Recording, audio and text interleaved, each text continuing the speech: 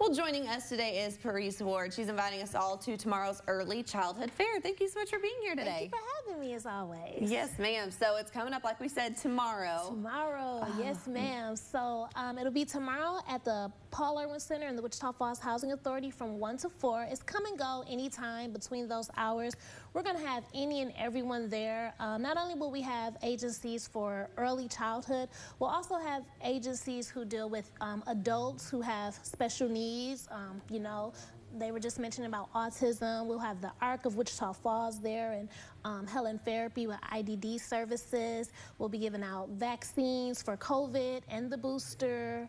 Um, I mean, free car seats, door prizes, really cool door prizes to win. Yeah. And it's just absolutely free, just a really fun event where you can come and get so much information yeah. of agencies here in town that can help you and your family. Oh, it sounds so wonderful and necessary. You know, you can get so, you know, your resources from schools and stuff, but sometimes yes. you do need just a little bit more. So this is going to yes. be something that's very educational, I think, for those parents. Yes, and the best part is that a lot of the agencies will actually be signing families and children up for their services that day. And wow. not one service is um, is at a cost. They're right. all free services, and you know you can actually leave out of there and have more resources to lean on.